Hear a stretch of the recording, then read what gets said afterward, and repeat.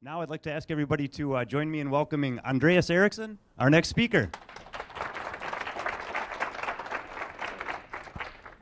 Thank you very much. Um, I'm going to be talking about Nagios Core 4, what's new in there, and the various improvements that have been done that uh, will affect you as the user groups.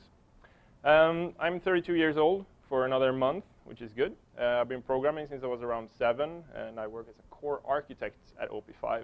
Core architect is somewhere between a system designer and software developer and presentation monkey or something.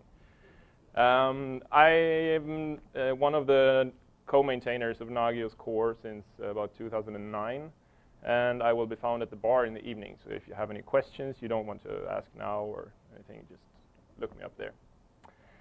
Right. um, about OP5. Actually, this presentation is pretty cramped on time already, so I'm just going to say that OP5 has a lot of info at, uh, we have a lot of info at our webpage.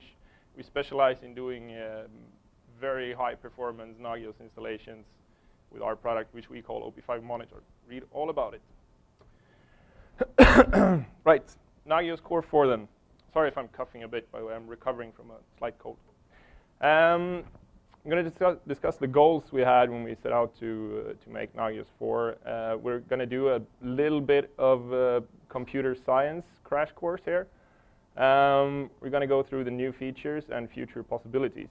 Actually, I think I cut out the future possibilities, but they're still on here, so we can discuss them briefly if you want to. Um, a few of the goals that we had was that we want to make Nagios, want to keep Nagios stable it is stable now. It's working very well. Uh, we want to increase the scalability so that we can increase the performance, basically, of all parts of Nagios so, so that they work as fast and as good as possible. Uh, we want to keep the simplicity. Uh, one of the very, very key features of Nagios that has made it so successful is that it, anyone can write a plugin. If you can write any type of scripting language or can write a one-liner in shell, then you can actually write a plugin. That is a very, very simple API that we use against plugins. And um, simplicity and usability go hand in hand. Without users, Nagios would die very quickly. Um, so we have to maintain a low complexity. Uh, we have to do testing. Uh, we have to use efficient, efficient code, uh, of course, and avoid magic as much as possible. now we come to the computer science crash course. When we're doing algorithm analysis, we, do, we have a, a, sort of big O notation, which we, we call it big O. Uh, if we want to do something on 100 elements, there are different categories that the algorithm that we use will fall into. If we have a constant time algorithm, it will take, if one operation takes one microsecond, this is actually a lie, there's a nanosecond, I think. Anyways, it's very, very quickly, very, very fast, and then it increasingly gets worse. When we get to factorial uh, performance, then we have somewhere around 144 billion years, which is pretty bad. this gets a lot clearer if we compare them to each other and how much, how fast they grow. This is only for 10 elements. I know a lot of people in here have hosts, have like 5,000 hosts. I know uh, one guy who sits around 40,000 hosts in one of his configurations if you try to use a shitty algorithm or an algorithm that doesn't really take into account the, the most efficient way of doing something, you're going to end up with this peak being 10,000 trillion times taller than the small one here. Um, we're going to see some effects of that, and there are effects of that uh, in Nagios 4, actually, um, which Daniel has helped me verify. So uh, logarithmic, screw that, actually. Just know that there are different classes of, of uh, different types of way of doing things. and some are really, really fast, some are really, really slow, and they only really matter when you get to really large data sets. If you have really small ones, nothing matters. You can write any kind of shit. Um, I.O. media comparison. When we have hard disk drives, uh, this is for a SCSI uh, top-of-the-line uh, RAID 5 cluster thing, I think. Um, a, has a seek time of about 5.11 milliseconds. Uh, solid-state drives have 0.24 milliseconds, and in RAM we get down to 13 nanoseconds, which is 0.0000.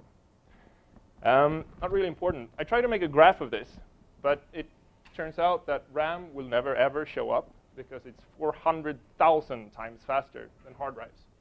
So the conclusion we can draw here is that all types of disk access is really, really bad. When we need to go down to the disk to do anything, we lose instantly because it's 400,000 times slower than doing it in memory. Um, the test setup that I used to do my bottleneck analysis had 3,000 hosts, 200,000 services, a five-minute check interval, and a really, really stupid plugin, which is called check A-OK. It says, everything's OK, and then it exits and says that everything's OK. The bottlenecks that we found um, were these ones, basically. Configuration parsing was a huge hurdle at first. It wouldn't even load my configuration, so I set out to, set out to fix that. Uh, event queue insertion. This was actually, I didn't think this would be a, this would be a bottleneck, but profiling of the code showed me that it was. So for large configurations, Nagios spends 99% of its time adding events. That's in Nagios, Nagios 3. Um, if we go back to the algorithm analysis, it runs in ON time, which means it looks at every event in the queue on average, actually worst case, but it turns out that the worst case is the one we hit almost all the time. So, and it does that 667, 676 times per second with our test configuration. But we, um, well, I know that the lowest bound for that is a logarithmic algorithm that only looks at a small, small portion of it. the macro resolution, uh, we, when we're doing, we're resolving macros to, uh, to run checks like host address and whatever, uh, user stuff, we also do a linear search on the macro table. And it has 150 something entries. And we do that for every macro that we have to resolve. Um, it turns out that we're calling strcomp, which is the function that compares two strings to each other, uh, 3,700 times per second with Nagios 3. Uh, the final one, job spawning and check reaping. It's very, very heavy on something called cache line fills, which means that uh, the computer is trying to look something up in the really, really fast memory, notices that it isn't there, and then it fetches it from somewhere else that is a lot slower into the very, very fast memory, and then it looks it up again. that takes time. Uh, also very heavy on disk I.O., and as I showed you before, disk I.O. kills us immediately. Um, it also lacked a bit from insufficient parallelization because only one check could be spawned at one time. Now I'm only discussing the, the Nagios' own internal check engine, uh, which is used when you run active checks of anything. It, some sort of check engine is, is used for every check that is spawned, no matter how that, is, how that happens. So having a, having a good check engine is really important. um, if we look at, the, at how Nagios 3 executes checks, uh, we see that it will read the it will read the scheduling queue. It will fork a child. The child writes half the check result file. Child forks again and runs shell. The shell parses the command line. The shell forks and then it runs the plugin. Child reads the status and output, completes the check result file, creates an OK to read file, then it exits. And Nagios picks up that file from a spool directory, finds the check result file. Is it OK to read? If it is, we read the file. If it's not, we get a cache miss, and we go back to reading the scheduling queue. Um, otherwise, we parse the check results, remove the results, and remove the OK to read file. if we're looking at the, the hotspots here, the things that take a lot of time, we'll find that it looks roughly like this. The red ones show disk access. This is dark red because it's a, it's a very bad disk access. It's the worst kind, where we're looking for a file that doesn't exist. It means the kernel has to reread the directory entry from disk to see that this file actually really doesn't exist. the yellow ones are when we use very heavy uh, system calls, where we have to fork, we create a copy of our own process, which involves copying a lot of memory, uh, and then we start up with a new table, which involves context switches and things that aren't really important. They cost a lot of time, though, so we would like to get rid of them. oh, this is supposed to have something with solutions first. Here we go. Config parsing solution. Um, we do a, nowadays in Nagios 4, we do a depth first search for host and service dependencies. That means we turn a quadratic algorithm into a linear one, which means that for our 20,000, the 20,000 service dependencies I was using, uses 20,000 operations instead of 400 million operations. The numbers quickly get ridiculous when you compare two algorithms to each other with any sort of actually uh, useful data sets. But this is what happens. Group numbers are no longer duplicated. Uh, they used to be copied with huge strings, and then the strings would be resolved themselves. Now we instead resolve them once and add them to a list, which we can concatenate a lot faster than having to compare the strings. Uh, we also do object verification only once. Um, the code was a bit organic, so I think that as stuff was added, uh, we verified it in a separate step later, but for a lot of the cases, we knew that what we were verifying had already been verified earlier. So just, just cutting away a lot of code that did something exactly the same as something else did. And the effect here is that Nagios loads configurations really, really, really fast. Um, a sample configuration that, I, that was sent, for me, sent to me from a guy from Pepsi uh, took one and a half minutes to load with Nagios 3 and 0.3 seconds with Nagios 4. I know that um, Dan, who's sitting here in the second line, third line, uh, has some. Uh, he helped me a lot to get this uh, up and running, and um, we did some we did some quick math and found out that his large system configuration, I think, would take four. No, the small system configuration would take 4,000 years to complete. Um, and with Nagios 4, that one ran in 0.2 seconds. So the numbers quickly get ridiculous when you compare algorithms that have large numbers put into them, mathematical functions. But huge improvements anyway. For the event queue, uh, we moved to a priority queue based on a binary heap. If you want to Google that, do that. You will find the one, uh, you will most likely find something called libpq, which is written by a guy named Volkan Yazici, uh, for, and is used in the Apache web browser web server. Um, it means that we turn insertion from ON to O log n. It's, we move down one step for insertion operations. And for extracting one event, we move from O from constant time to move up one step. But still much more efficient. So instead of doing 43 million operations per second, we now do 9,460. That's a huge improvement. Uh, this improvement alone, I think this is actually in Nagios 3.4.1. I'm not 100% certain, but I think it is. This change alone made Nagios stop hogging 99% of one CPU entirely uh, while it's running. So the main Nagios process uses a lot less CPU uh, thanks to this patch. Um, special kudos here to the libpq author Volkan Yazici. um, macros. We sort the macros once on, on when we start Nagios, and when we do lookups later, instead of having a linear search, we do a binary search, which is, which is a logarithmic operation because we divide the result that we're looking through by half every time we look. So we move it down from 65,360 to uh, 3,010 operations per second. We could actually improve on that further, but it doesn't seem to be a bottleneck anymore, so I'm not going to bother.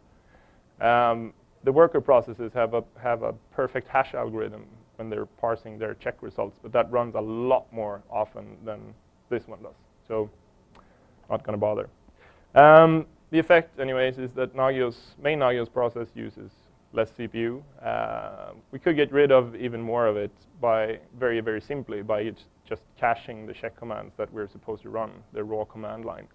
Uh, that's really, really trivial now because each object has a separate ID, so we can look them up in constant time and get rid of that completely. check solutions, worker processes. Uh, worker processes run all helper apps. They run checks, notifications, event handlers, everything that Nagios spawns that turns into a separate command. Uh, we increase the number of the max number of forks per second that we can do. Um, I actually tested this, and on Linux, it's supposed to be a copy and write. So if you don't modify the memory that get copied, it doesn't get copied at all. It doesn't appear to work that way, or we're doing something weird, because Uh, for a 300 megabyte process, which is what my 3,000 hosts and 200,000 services was, we can fork 800 times per second. That's, that's the real limit on my system at least. I would imagine it would go up a bit with faster memory and stuff, but not that much. if the process is only one megabyte, we can fork almost 14,000 times, which means that we can do that many checks. we also stopped writing all the we also stopped writing all the check results to, to disk and just fork them directly into Nagios using, uh, using memory pipes. So uh, the effect here is that we reduce the I.O. load by a lot. It's a huge factor, and the only I.O. generated by Nagios now uh, in my test setup is actually from writing the log file, and it still has to keep doing that. So it went from about 100% to about 1, which is good. Uh, also reduce the CPU usage a lot because checking for doing all these context switches for when the kernel has to look on the file system and see is this file actually there uh, takes a lot of CPU time. So uh, we reduce that a lot as well. and now we can run about 300,000 checks every five minutes, uh, actively scheduled. That is up from about 30,000 in Nagios Core 3. So it's uh, quite an improvement. I have to say these numbers are a bit thumb forefinger bit like because uh, the way that they're measured isn't can't it can't be done the same as it was in Nagios Core 3. So what I did was I just added checks to it, just more and more checks until I started seeing that the checks uh, timed out basically, which means that the workers can't fork any more processes. And it worked fine at 300,000. It didn't work at 700,000. So I said, well, 300,000 is still very, very good. Um, kudos here to Sven Nierlein, William Leibson, and Jean Gabès, which were um, have done sort of like proof of concept implementations. If you're familiar with uh, DNX, Mod Gearman, or Shinken, um, they use this this check model already, but they do it less efficiently than Nagios Core can do because we can take a lot of shortcuts that uh, that other programs can't. Shinken is a well, it's Python, so it won't go as fast as Nagios. Um, the breakdown of it is like this. Workers are spawned by Nagios. Uh, they're chosen in a round-robin fashion, really, really stupidly. We could add some better logic to that so that the one with the least amount of work to do gets chosen. Uh, doesn't seem to be a problem yet, so I haven't even bothered looking into it. Uh, they, the workers communicate with Nagios using something called libnagios, which is a bunch of helper APIs that are very, very useful for writing, uh, well, actually for writing Nagios core and for writing uh, workers and add-ons and stuff. Um, one thing that we still can do is add special purpose workers.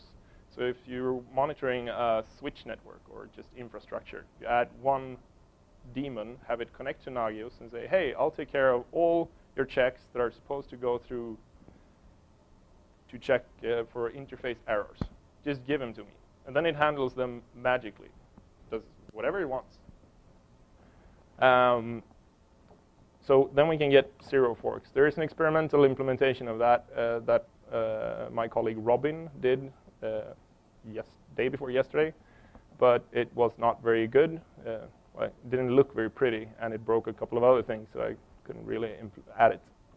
Uh, then, of course, there are remote workers.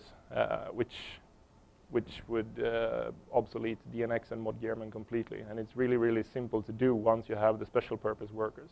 The difficult part about special purpose workers is that they need to need to have something that handles a request that says, "Hey, I can I can work, I can do stuff."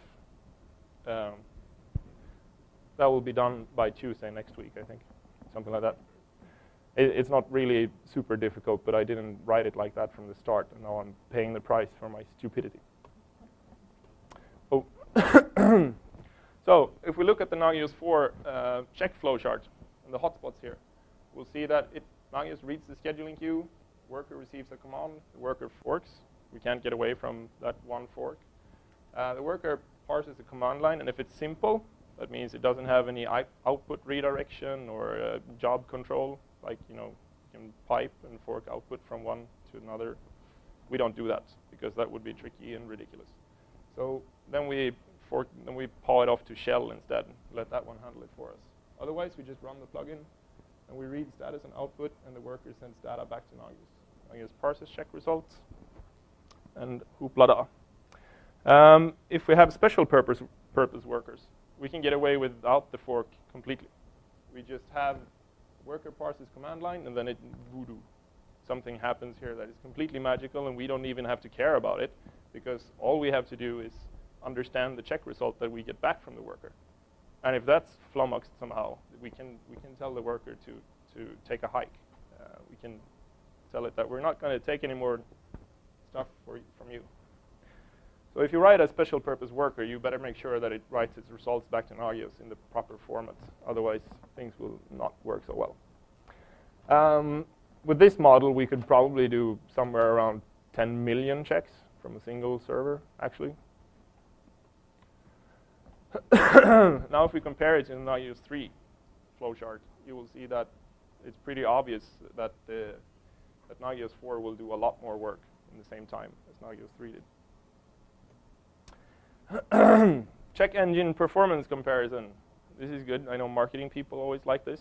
So, um, Centrion, which is the French Nagios fork, they actually managed to reduce their check performance from Nagios 3. Very weird. Um, the Icinga guys, they claim that they have increased the performance. I didn't see any difference at all compared to Nagios 3, which they have just completely copied um, when they did their, their tests, but I included theirs, their improved numbers just for comparison. This is Nagios 3, about 30,000 checks every five minutes. Um, Mod Gearman and Shinken, that didn't use disk before. Uh, they had a lot more checks that they could do. With Nagios 4, this is uh, this is the low limit, the limit that I know works. The actual limit is somewhere between here and 700,000. So that's good. Uh, a couple of new features in Nagios 4. Uh, the major ones are libnagios, which actually isn't that major, but uh, since it's just a, a toolkit. Um, we have the query handler, and we have something called Nerd. Nerd is pretty awesome. Um, minor features, we have service parents, and for host and service objects, you can configure an hourly value plus, and you can set a minimum value for contacts. Uh, there is also a new macro, which I might actually have merged away right now. But anyways, check source. Uh, a lot of people are using are using uh, distributed setups one way or another, or they're using the module that distributes the checks for them. And when they get a check result or an alert for a check result, they have no idea where that check came from. So the check source thing will add that to your notifications and make sure that you can, you can get that information. libnagios, pretty boring unless you're, a, unless you're a programmer. IO broker is a multiplexing library. Well, these are the components. These are actually Doxygen documented. Let's see if I can get that up here. So we can, you can look into the type make docs and just look up the things that are happening here. If you're a programmer, this makes perfect sense to you. If you're not, sorry, nothing I can do about that. there are tools here to write very small and very simple uh, add-ons that do very, very useful and very cool stuff very, very quickly. Here is one of them. This is an example that uses libnagios, and I'm actually going to show you this program later in action when it does something real. Um, this is only about 30 lines of code, and it connects to our query handler and then runs a uh, runs a few queries. It subscribes to nerd channels. Query handler, time to introduce it. This is a general purpose handler for addressable queries in Nagios core. Um, you que your query looks like this. You say at, and then an address, then you put a space, and then you write your query, and you end it with a null byte. If you do that, type that into Nagios, you will get, it, the query will get addressed to the thing that has registered uh, for answering queries at that address. So event broker modules can say, oh, hey, I can answer queries uh, directed to, uh, for instance, Merlin or Mod Gearman. And then, they, then you can get information from directly from the module where they can answer, oh, hi, I have four workers online, and uh, one of them seems to be doing something weird, or whatever. And if you have NDOUtils, you can get uh, you can get information directly from there if it registers for a, uh, for a, for answering queries on a, channel, on handler. You configure it like this: query socket equals path to blah blah blah somewhere. It sets up a Unix domain socket, which Uh, turns out to be almost a file on your file system. Kudos for inspiration here to Mathias Kettner. I've been wanting to add something like this to Merlin for since forever. And uh, I talked about it uh, to uh, Sven Nierlein, the Mod Gearman author, and he wanted something similar as well. Building it into Nagios was made a lot more sense, actually. Um, there is an echo service built in. It's the dumbest ever. It just sends you your output right back at you. Works nice, though. Nerd, uh, the Nagios Event Radio Dispatcher, uh, provides real-time data to outside add-ons. That's actually a pretty major new thing because it hasn't been possible to do that before without trying to follow a log file or doing some other weird thing. Uh, so this can reduce I.O. load of current add-ons or reduce the CPU usage or whatever. Uh, you, get, you query it as nerd via the query handler. So this registers for an address uh, with the query handler and says, I will respond to everything that has nerd in front of it. So an example query here is you can subscribe to the host checks channel. Uh, each of these are called radio channels, sort of, because you can have a lot of people listening in. Um, or you can subscribe to the service checks. Uh, we're gonna I'm going to add a few more things there, like macro support. So you can say, hey, I want to subscribe to host checks, and I want the data in this format. Then Nagios will translate it to you, for you, into using the standard macro resolution stuff. So you get a host check, and you can say, I want to see the last state of it, and I want to see the new state of it, for instance.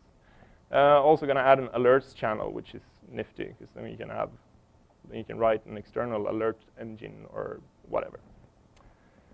Um, now it's demo time. This is good. Uh, using these pretty simple, simple items from Nagios, it's, it's easy to write cool and useful add-ons. This is very useful, isn't it? Whee! this might look a bit stupid, and it certainly is. You can use this for anything in production, uh, except that if you know that this is a real-time data display of my laptop imitating running checks, actually is actually running checks. It's running that stupid plugin. Uh, and these workers are the ones that are responsible for handling them. And this is the network that we're monitoring. It's a pretty big network. But then this suddenly turns pretty interesting because that means that you can now see how many, you can see if they start spamming yellow lines from these things down here. That means that we've failed scheduling checks, for instance, because then we've scheduled too many checks close together. I think it's having a bit trouble rendering and reading in real time at the same time. So, yeah. Um, but this is this is all from the from the uh, from the Nerd Radio. So now we're reading data in data in real time. I'm to cut that one. Uh, and this is how it works. Not sure if you can see down there. Let me do like this. STalk is just a stupid program I wrote to test this stuff. So if I say echo, hello.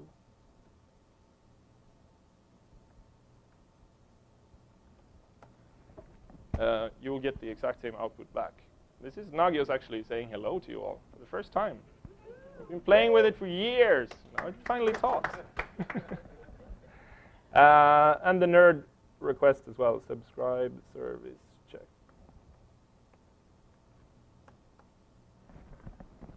check. now you get the output here. The, the lines with hashes and arrows and stuff are just debug output from the program that I wrote, saying this is how much we read in this batch and this is from that one. But this is, this is really real-time data, although slightly messed up because I've only done the debugging version yet. So uh, when this gets macro support, you will be able to just subscribe to the channel and get see your your check commands rolling by. It's pretty awesome. Do, do, do, do, do. I survived the demo. Can you believe it? Yay! Um, other features and service parents. This is something me and Ethan actually discussed in Bolzano in 2010, 11? Well, a while back. Um, and well, I did a call for configs when I was doing uh, when I was doing the configuration parsing speed up hack. Um, I noticed that service dependencies are in 99% of all cases, they are of the type that don't alert for this service if NRP or NSCA or whatever is down. Just don't. If it's anything but okay, the version check for the agent, don't send me a notification. That's exactly what these do. They do exactly that. They, they do nothing else. They have no other impact whatsoever.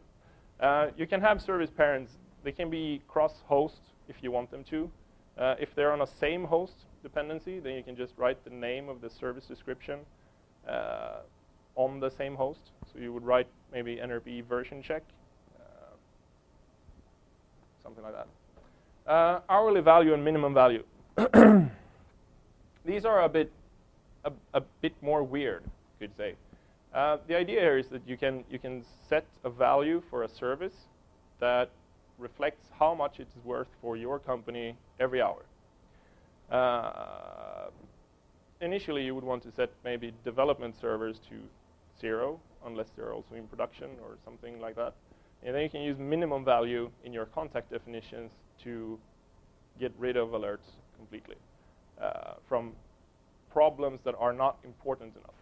Uh, the value thing, it gets val the value of a problem of a notification is inherited for through the dependency chain. So if you have a host that goes down, it's worth as much as the host itself and all its services. If you have a network outage, the value of that network outage is the value of the host, all hosts below it, and all the services that are added below there. So it gives you a sort of, okay, this is, this is a really, really expensive problem, and this is a really, really cheap problem, so you can fix the expensive problem first. Um, hmm, check source. We discussed, we discussed that earlier.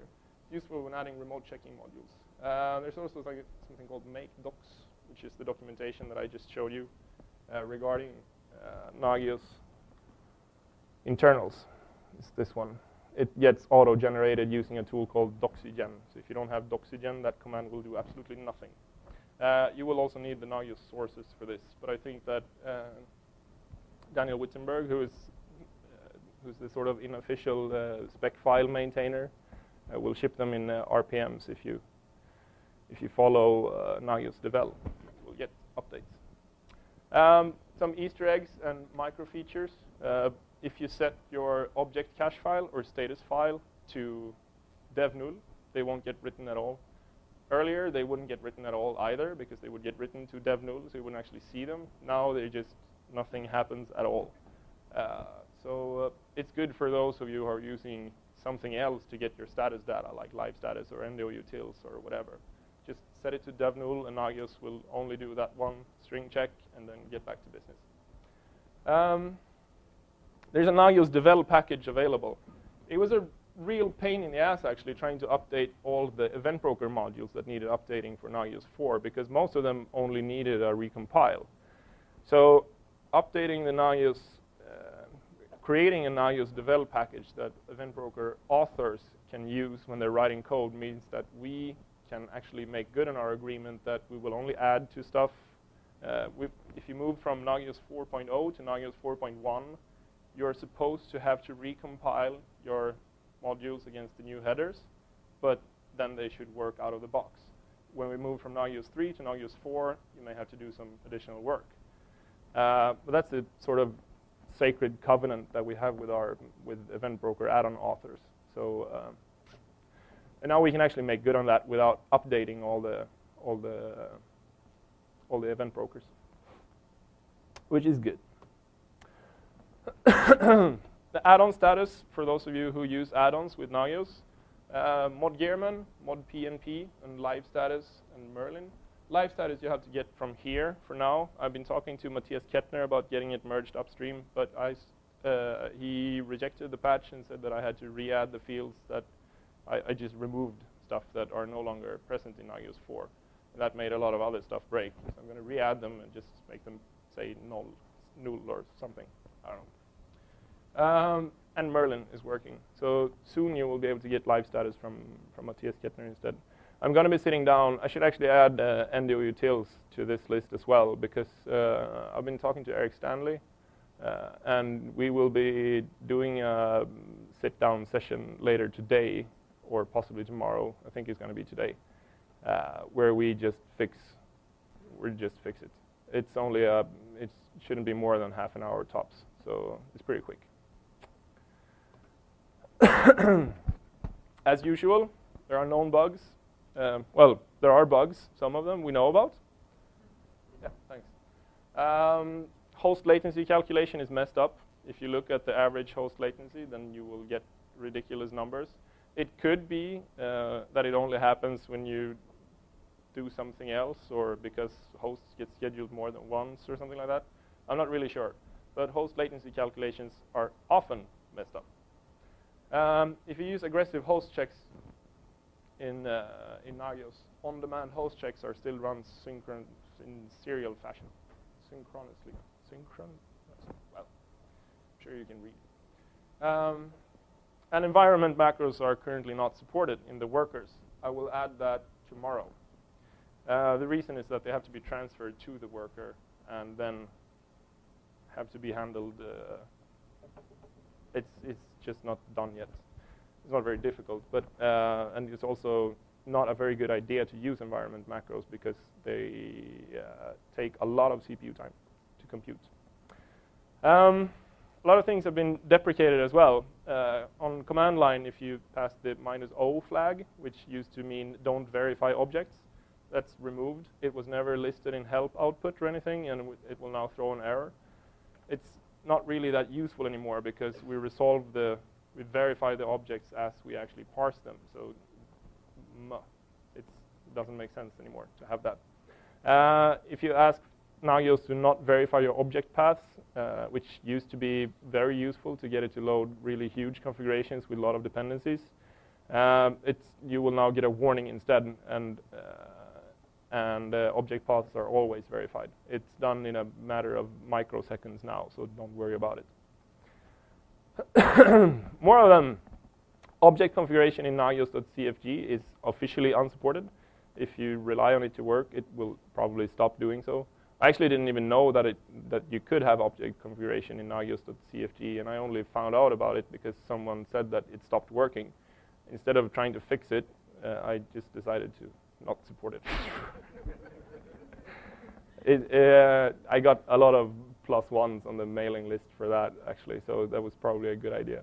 Um, embedded Perl has been removed. It was very, very tricky to, to try to support it because we would run into issues with uh, that Perl version doesn't work and that one has leaks or that one takes over your uh, read di directory it does a lot of magic that we can't really control if we load it into Nagios core directly. So if you want uh, if you want to embed a scripting language to make it run really, really, really, really fast, you should write um, uh, you should write a special purpose worker instead and have that connect to Nagios and say, hey, I'll do everything that has this or whatever. Um, I'm not really sure how the filtering there should should work, but if it's a script engine, you should be able to find Perl or something in the, in the I'm not really sure about the specifics yet, but that's how you should be doing it. Um, Nagios.cfg, sleep time is gone. We never sleep. We just wait for events to arrive. Um, and if we don't get new events, we just schedule, well, we wait until we're supposed to run the next event for events to arrive which is basically sleeping. I can show you the, the configuration that I have here is 20 something, well, 25,000 services basically. And how much we're working is this. Oh, you see the main Nagios process there jumping up to about 11% CPU usage every once in a while when it's parsing check results that's coming back. Might go as high as 20. Uh, this is the this is the main Nagios process, and these are the workers. You can see it by looking at how much memory it's using. This is actually bad. I've done something that makes the workers not free all the memory that they're using anymore, so more patches will be coming. But you can see the CPU usage is really, it's really gone. It doesn't use anything at all anymore. Um, last command check is also that's not in Nagios CFG. It's one of the live status output things. Uh, but command check interval, we don't have that anymore. We just poll for them and they turn up as inbound events, the same as everything else. So we always handle them immediately on arrival. Um, failure prediction, that was never actually implemented in the core. We just had a lot of variables that we carried around and did stuff with. And everything relating to embedded Perl, like P1 file and use embedded Perl implicitly and stuff like that. Um, objects, failure prediction again. Um, the second point here is actually this is a this this can be a bit sneaky. Group member exclusions are no longer inherited by group in group in inclusion. So if you used to have group one that had members A and B, and if you had group two, group group one also included group two. Group two excluded B but included C. In Nagios 3, you would get A and C as the members. In Nagios 4, you will get A, B, and C as the members. Because the implicit, the explicit inclusion here trumps the one, trumps the implicit exclusion from here when we include that group. Is everybody clear on what that means? No. Sort of? Okay, excellent. Ask me later when I'm drunk and I'll explain it splendidly. Promise. Um, oh, special thanks screen. Um, a lot of people have been have been very very instrumental in making Nagios 4 come to life, and uh, I a couple of weeks ago, actually last weekend, I sent out a sort of competition thing uh, where I said that I would take the top three uh, top three people that were instrumental to making Nagios Nagios 4 come alive, and I would give them presents. I was pretty drunk when I did it, so, so I, I, I hope OP5 will cover the expenses. I think they will. but um, Ethan Galstad, for uh, bringing us all together with this conference and with your amazing invention since 13 years. Would you like to please come up here?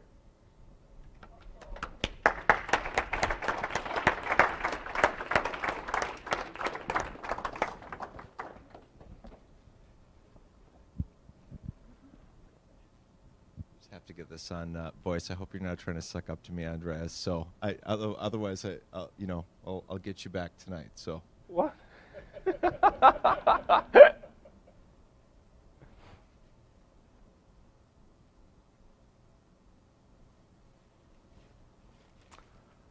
Hello, buddy.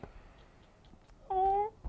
This is actually this is a whiskey from a Swedish whiskey distillery that ships only very limited edition whiskeys. I've heard it's very, very good, and I've actually tried it, but a long time ago. This is a limited edition bottle, and it might be one of only two in the whole U.S. Awesome.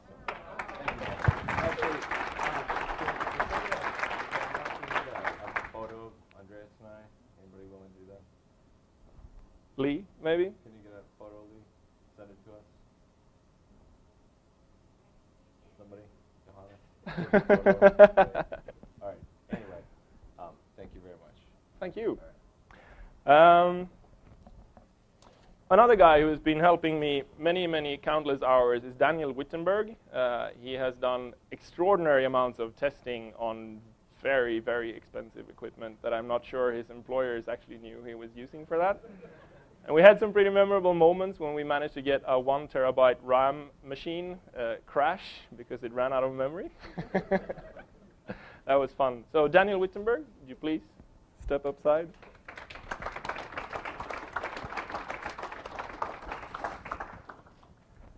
And you get the same because I have no imagination. You're welcome. Thank you. Thank you. Um, other people who need mentioning are people on this uh, on this list here. There are probably I've missed a few, but Armin Wolfermann and Jörg Linge have both been sending me patches, as has Sven Nierlein. Mark Frost has helped me test a lot of things. I'm not sure if any of, well, I know that most of them aren't here, but if you are, uh, thank you very much. Also Robin Sonefors, William Leibzon, and everyone who sent me configs for testing that made that made it really, really sure that nothing breaks in Nagios 4 that used to work. Right. Questions? Yep. I can bring the mic over to you, sir. Yeah.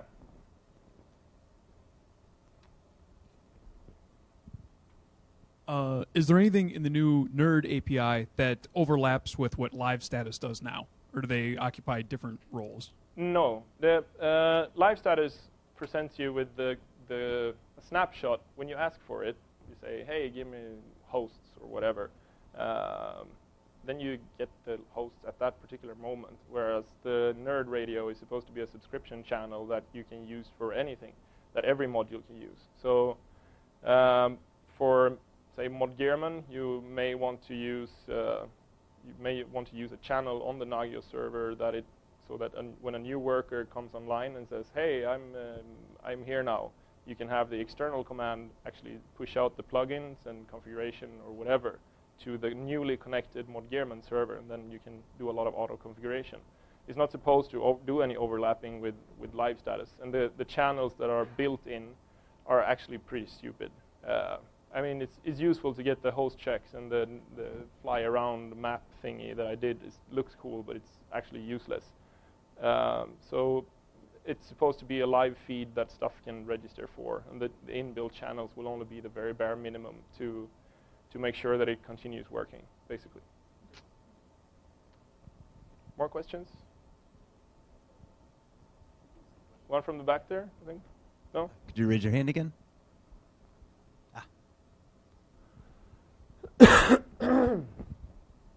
Um, hey, is there anything in uh, in libnagios that's going to make it easier to for a, an event broker module to preempt um, like the normal functioning of say a service check or a notification? No, there So is not. So we're still exiting with I can't remember the exit constant. The um, Yeah, exit three means yeah. Well, you can write event broker modules that override that if you want to, but um, I'd advise against it because a lot of things rely on it. And if you write that as an event broker module, then you're not really sure if you get your callback before something else does, or No, I'm talking about just normal. Um, you know, there's a there's an event broker module exit code that you can exit to say interrupt the normal.